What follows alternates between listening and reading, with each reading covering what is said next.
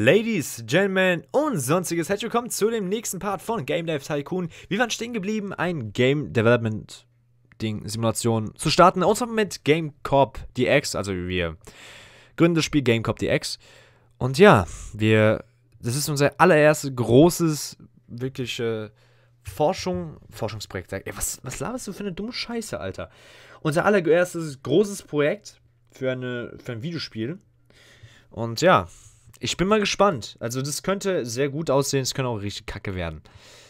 So, Tony Rodriguez und sowas, die sind schon richtig ausgelastet. Schicken wir die dorthin. Der macht das hier. Und du kannst das hier machen. Alter Falter, das wäre mal interessant. So. Das ist ja sowieso ein Auftragsspiel, also ist es jetzt nicht so wichtig. Marktanalytiker haben einen merkwürdigen Track beobachtet, dass Spiele auf der ganzen Welt ein eigenartiges Fable für ungewöhnliche Spiele haben. Ein, Spiel drückt es so, ein Spieler drückt es so aus. Manchmal will ich es einfach etwas Einzigartiges spielen. Ein Spiel, das nicht auf der typischen Idee vom Militär-Action-Spiel oder Fantasie-Rollenspiel basiert, um nur zwei Beispiele zu nennen. Ich hoffe, dass die Unternehmen bald ein paar einzigartige Spiele herausbringen. Ich will sie momentan wirklich bevorzugen. Dieser neue Trend verspricht eine interessante Herausforderung für die Spielentwickler, Herausforderung für die Spielentwickler zu werden, weil Genre-Themen, Kombinationen, die sonst immer gut funktioniert haben, auf einmal nicht mehr gefragt sind. Ja.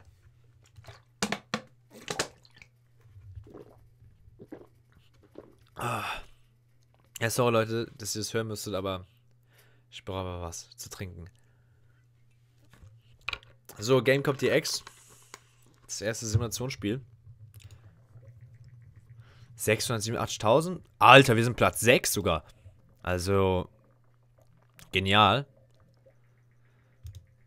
Okay, Wiener hat heute in einer nüchternen Bekanntgabe bestätigt, dass Dreamfast eingestellt wird. Weners Geschäftsführer Leads verlauten, dass viele Firmen weiterhin Spieler für die Konsole entwickeln werden. Wiener allerdings zu keine neuen Einheiten mehr produzieren wird. Ja. So ist es, ne? Also das Spiel wird auf jeden Fall Rekorde brechen. Das kann ich jetzt schon sagen. So, wir haben auch ein ziemlich geiles Spiel. Also ich denke, das wird ein ziemlich gutes Spiel werden. So. Also, dann machen wir es halt wie bekannt. So. Und ja, wer übernimmt jetzt diese wichtigen Knotenpunkte? Also ich denke, ich könnte 521 576. Der James, der kann das. Der James kann nichts mehr machen. Oh, der ist vollkommen weg. Ich könnte auch nichts mehr machen, weil ich auch komplett überfüllt bin von mit Arbeit. Colby, der macht mal das hier. Die sind alle zu krass ausgelassen. Es geht nicht. Also ich bin der Meinung, Mario Hicks macht es dann. Ein Sound. Bin ich mal der Meinung, würde auch funktionieren. Und gucken mal, wie das wird. Hallo, ich bin Curtin Gillen von Gamers. Ich habe gehört, dass Darius gerade in einem Spiel arbeitet. Ja, ich bin dabei für ein Interview. Ich pushe, pushe das Spiel natürlich. Also das Spiel wird auch gut ankommen. Bin ich mir 100% sicher. Also guckt euch mal an, was das ist ja doppelt so viel Arbeit steckt da drin. Also es ist ein verdammt gutes Spiel. Jetzt da, ja genau, Budget. Dave Johnson hier, Eigentümer von Departure Science. Wir haben einige unserer Testobjekte euren Spielen ausgesetzt und überraschenderweise sind sie nicht total durchgedreht. Sie waren von den Spielen sogar ziemlich angetan. Egal, ich habe ein paar Produkte, die ein wenig Werbung benötigen. Ich dachte da an Art Product Placement. Meine Werbejungs sagt mir, dass ich dich nicht fragen sollte. Gerade deshalb mache ich es. Ich bin der Chef. Ich zahle dir 200.000 um einiges unserer rot lackierten... Das ist Nein. Danke. Brauchen wir nicht. Ich möchte kein Product Placement drauf haben. Brauche ich nicht. So. Also es war jetzt mal ein richtig gutes Spiel. Mal gucken, wie das wird. Also da, wir haben bei beiden auf jeden Fall neue Rekorde gebrochen. Und ja. Grundlegende Physik, Alter, da haben wir einiges zu forschen. Ja, da forschen wir mal, ne? Grundlegende Physik. Forschen, Cloud-Spielstände. Alter, wir sind ja ziemlich weit nach vorne. Spielbericht erstellen. Und das Spiel. Oh, geht. Game Dev und Simulation ist eine sehr gute Kombination. Okay. Naja. Es ist jetzt auch nicht so gut. Mod-Support auf jeden Fall. Surround Sounds und 2D-Grafik. V Version 5 geht leider nicht. Play System wird in zwei Monaten vom Markt genommen. Schade. Mal gucken, wie das Spiel. All das Spiel verkauft sich gut.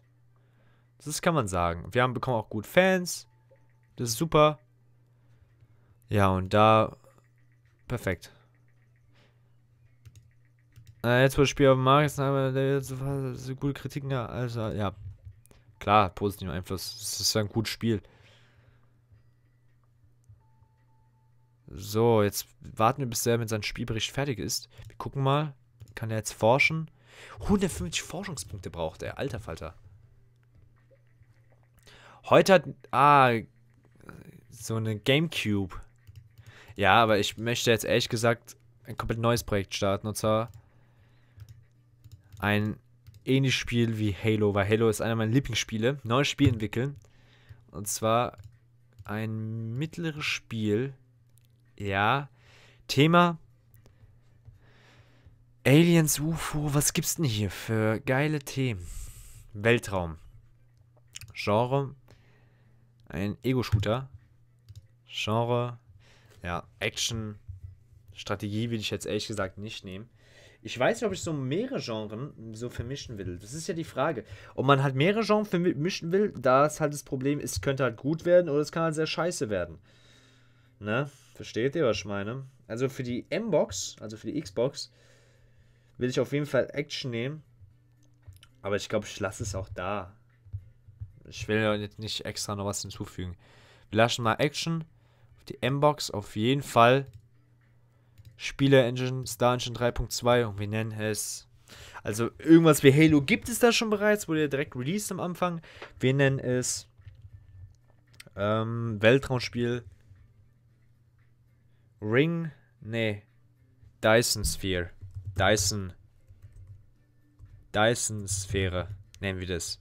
Wer meine Kardashev-Skala gesehen hat, Dyson Sphäre nennen wir das einfach. Auf die Xbox. Ja, Mittel. Ja, machen wir es mal so. Mittel ist gut. Weil, oder machen wir es groß? Groß ist ja das Problem, da muss man halt schon viel machen, ne? Ob da wirklich was rauskommt, ist auch die Frage. Deshalb mach ich mal lieber so. Also ja, ich lasse es erstmal auf ein Genre. Ich belasse es auf ein Genre und ich, bevor ich auf diese großen Dinger drauf gehe, warte ich erstmal.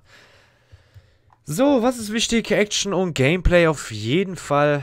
Ähm, da ist auch ganz klar Technik im Vordergrund. Also dann heißt es Technik, Geeks aller Welt vereinigt euch. So ungefähr. So. Wir machen da auch jetzt ein bisschen Hype im Spiel. Zeitschriften.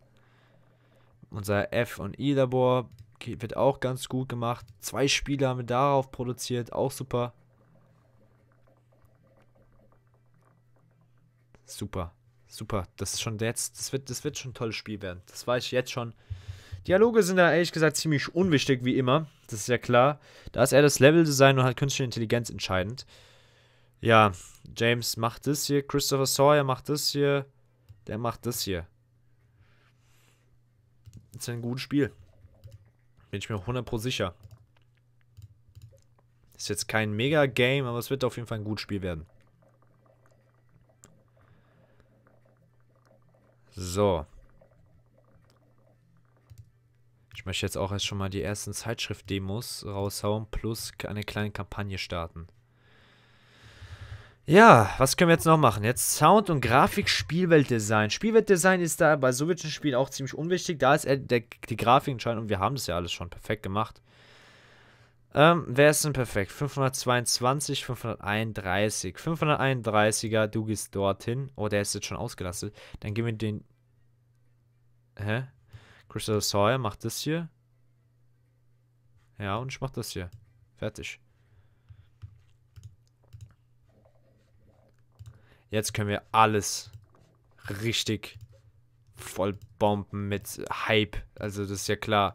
Kleine Kampagne nochmal. Jetzt mal eine große Kampagne reinhauen. Schön die 200er Marke knacken. Ich möchte die 300 Marke am liebsten knacken. Das ist mein Ziel. Und es wird schwer werden, aber nicht unmöglich. Sagen wir mal so. Noch einmal Zeitschriften. Noch einmal Zeitschriften, Demos. Und dann ganz am Ende jetzt nochmal ein ganz klar große Kampagne. So, jetzt werden die Bugs behoben. Technologie haben wir schon wieder neue Höhen erreicht. Noch einmal Bug weg. Super. Wir haben auch schön Hype generiert in das Spiel. Das muss sein. Neuer Rekord. Super. Spiel veröffentlichen. Also das wird, wenn das nicht gut ankommt, da weiß ich jetzt auch nicht. Game Corp DX wurde vom Markt genommen. Komisch. Das ist jetzt ein bisschen komisch. Also es ist schon ein gutes Spiel. Es sind schon gute Spiele, nur... Äh, es ist so ein bisschen... Ich weiß nicht. Ein bisschen problematisch. Sagen wir mal so.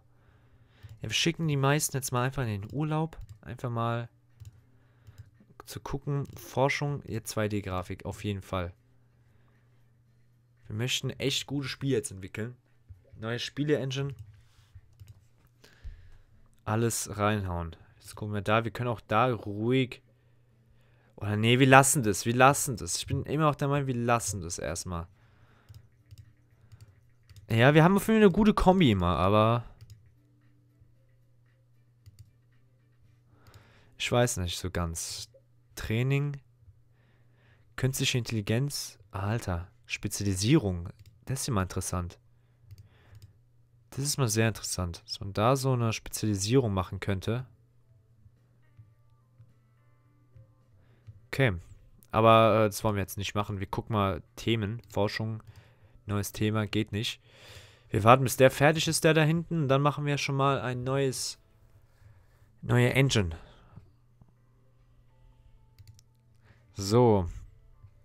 Eigene Engine stellen. Die Star Engine 3.5. Engine 3.5. Ja. Grundlegende Physik, Mod-Support, gerne. Erfolge dürfen auch drin sein und Surround Sound. So, das wird mal eine richtig gute Engine werden. Mit Cloud-Spielständen, also da ist jetzt alles drin.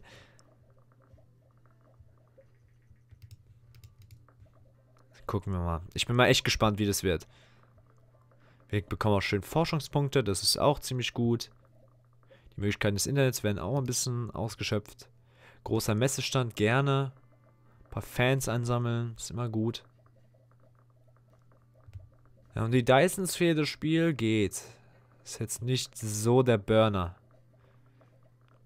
Aber unsere Engine, die wird es raushauen. Jetzt heißt es mal eine Fortsetzung entwickeln. GameCop DX. Wir haben jetzt mal ziemlich viele Spiele von damals. Sci-Fi will ich nicht. Just Sing will ich machen. Ja, Just Sing will ich machen. Just Sing 2. Just Sing 2. Casual, ja, also alles andere als Casual, keine Ahnung, was man da machen will, jetzt mal ehrlich gesagt. Keine Ahnung. Äh. ja, Alter Falter. Was war das mal? Das war ja Casual. Casual, Casual, Casual. Das war Musik. Musik. Ja. Ich weiß nicht. So Musik und Casual würde doch eigentlich gehen, ne? Casual und ich meine Casual Simulation, Casual Action, nicht Simulation für Kinder. Machen wir, machen wir ruhig eine hohe Produktion rein. Also ich bin bereit für die, ich bin bereit, so ein Risiko einzugehen. Plattform, das ist jetzt die Frage. Für die M-Box werde ich das am liebsten raushauen. Die M-Box ist ja meine Lieblingskonsole. Aber ich weiß nicht, ob das so smart wäre. Weiß ich nicht. Ich glaube ehrlich gesagt nicht. Guck mal, PlayStation 2 ist dafür eher geeignet. Das ist ja das Ding. Ja, dann, ja. In die PlayStation 2. In die PlayStation 2 mit neuen Star Engine. Großes Spiel. Hau mir raus. Viel Geld rein investieren. Wir stecken jetzt viel Geld da rein. Und wir werden ein scheißgeiles Spiel entwickeln. So wird es sein. Und nicht anders. So will ich es haben, nicht anders. Verstanden. Okay, Justin 2 wird jetzt ein bisschen Werbung bekommen. Das ist gut. Alter. Wow. Also bei uns sind echt viele da. Also das ist mal mein lieber Scholli, ey. Das ist mal richtig viel, was da abgeht. Wow. Wir wären locker Platz 1. Man hat unser Messstand zum Besten des Jahres gewählt. Glückwunsch. Ja, kann ich mir vorstellen schon, ey. Mod-Support, gerne. Erfolge auch. Wir machen daraus ein sehr gutes Spiel. Das ist ja ein Musik-Casual-Simulator. Das ist immer interessant. Also das ist immer sehr interessant. Hm. Ha, ha, ha, ha, ha.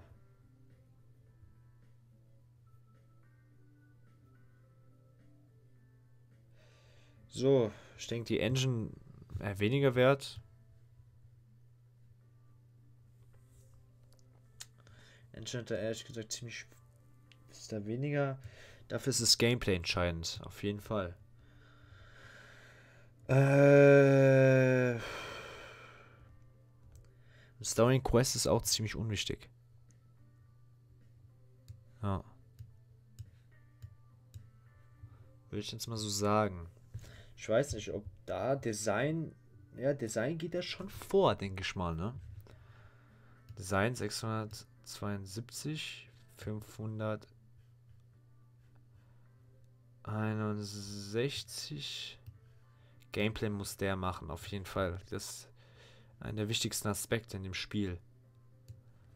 Gut, dass wir die alle auch relativ nach oben gepusht haben. Das ist ja das Wichtige daran. Das Spiel, mal gucken, wie das jetzt wird. Also, entweder wird es geil oder es wird scheiße. Ja.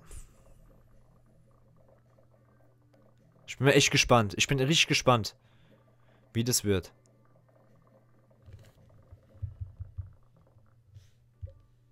Sehr gespannt sogar. Ah, verdammt, schon, schon wieder vergessen, den Timer zu stellen. Geil. Alter Falter. Alter Falter, alter Falter. So, Dialoge, denke ich, jetzt dann, ist dann auch relativ unwichtig. Machen wir mal so. Level Design ist dagegen auch nicht so wichtig. Ich denke, das ist schon ein ziemlich guter Punkt wo das ist. Und da machen wir es auch ziemlich so auf dem Level der Dialoge. Ja, Christopher Sawyer, der, nee, der darf das nicht machen. Der darf das auf jeden Fall nicht machen. Okay. Ähm. Nee, das ist nicht gut. Nee, ist nicht gut. Ist gut. Hm. Tony Rodriguez macht das. Mario Hicks, James. Ich weiß nicht so ganz. Dann machst du lieber das so, ne? Wird mal interessant werden. Was wir daraus zaubern wollen. Also den 200er Hype, das wird der 100 pro knacken. Die Frage ist, äh, werden wir da ein gutes Spiel raushauen? Das ist die allerwichtigste Frage. So, Surround Sound auf jeden Fall. Wir brauchen ein Spiel mit geilen Sound. Und ja, ich denke dann, Spiel wird machen wir mal so. Ja, das ist ziemlich gut eingestellt worden. Alter Falter, Tony Rodriguez, der übernimmt das, ja, okay, das geht sogar. Peter Polyneux, Christopher...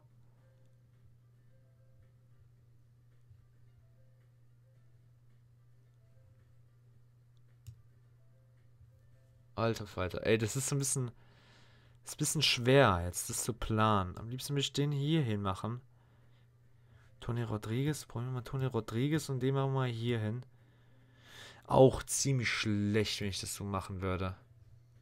Peter Polyneux wäre ziemlich ausgelastet. Aber das würde gehen. Das würde gehen. Dann machen wir das lieber so. Hauen wir nochmal schön Zeitschriften raus. Zeitschriften-Demos, dass wir so diese 300 Marke knacken. Wenn nicht sogar die 400 Marke. Jetzt die 400 Marke will ich auf jeden Fall knacken. Ja, Nintendo DS, interessant. Wir nähern uns der modernen Zeit. Heute hat Phony angekündigt im Laufe des ganzen Jahres. Ach komm, ich will mir scheißegal, was die PSP da ist, ey. So. Ich hoffe, das Spiel wird gut sein. Also echt. Ja, da geht, das ist schon viel, was da abgeht. So, also die Rekorde haben wir wieder gebrochen. Das ist gut. Ja, bei beiden. Aber wir sind gerade in so einer gewissen Krise. Man sieht es. Also unser Budget ist noch gut, aber wir wollen ein bisschen Fähigkeitsbaum. AAA-Spiele können wir jetzt auch machen. Forschung, gerne. Dynamische Umgebung. Fähigkeitsbaum. Spielbericht erstellen. Forschung, neues Thema. Können wir nicht machen, wir haben doch alles. Und ja, den einen müssen wir weg. Alter! Alter! Das habe ich ja noch nie geschafft. Das ist ja eine glatte 10 von 10. Alter, das war ja. Boah! Fantastisch. Von Star Games. Eine herausragende Leistung von Informed Gamer. Ihr Schwerpunkt auf Leveldesign tat dem Spiel sehr gut von Game Hero und ein Meisterwerk. Alter, 10 von 10, das hätte ich ja niemals gedacht. Alter, fuck! Shit, das war mal richtig gut. Boah, geile Scheiße. Geile Scheiße. Das hätte ich jetzt niemals gedacht. Niemals. Niemals, niemals, niemals. Niemals. Krass. Also dieses Spiel wird sich ja mal so gut verkaufen. Perfektes Spiel, ja. Ey, das ist das perfekte Spiel gewesen. Design, ja. Ey, wer hätte das gedacht, dass Just Sing wieder alles raushauen würde? Alles. Das hätte ich niemals gedacht. Forschung, gerne. Auf, auf und davon. Alter. Das ist krass. Alter, das ist richtig krass. Alter. Wie viele Fans noch hinzukommen, das ist ja krass.